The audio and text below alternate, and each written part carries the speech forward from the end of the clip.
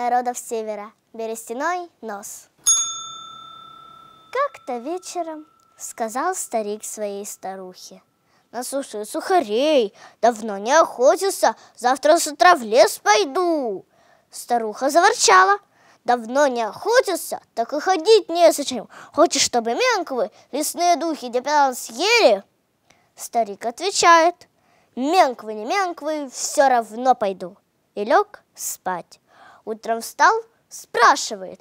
Насушила сухарей? Не насушила, отвечает старуха. Не пойдешь ты в лес? Пойду, говорит старик. Не пойдешь, говорит старуха. Так полдня и проспорили. Солнце уже на другую половину неба клониться начало, когда старик из дому вышел до его лесной избушки, где он с молоду охотясь, бывало по неделям жил, далеко идти.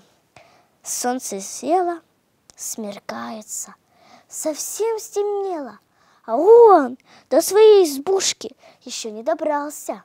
Шагает, думает, а ведь верно, старуха говорила, съедят меня менквы, лучше бы не ходил. Такой страх его пробирает, что ноги трясутся. Однако идет, в избушке думает, не так страшно, теперь уже близко. Вдруг смотрит сквозь деревья, огонек мерцает.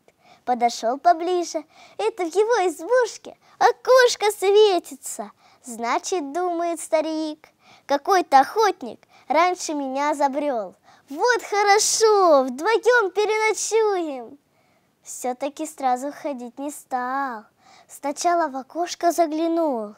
Ух, страх какой! Сидят у очага два огромных менква с голыми волосатыми руками, с голыми волосатыми ногами. Один обдирает шкуру с красного зверя, другой обдирает шкуру с черного зверя. Шарахнулся старик от окошка, наступил на березовый сук. Крак! Сук сломался. «Ой!» — вскрикнул один менк грубым голосом. «Ай!» — второй вскрикнул. А старик опять к окошечку смотрит, слушает. «Чего это мы так боимся?» — спрашивает первый менк, а сам весь дрожит. Второй отвечает. «Не знаю, чего боимся. Разве есть кто-нибудь больше нас? Разве есть кто-нибудь сильнее нас?»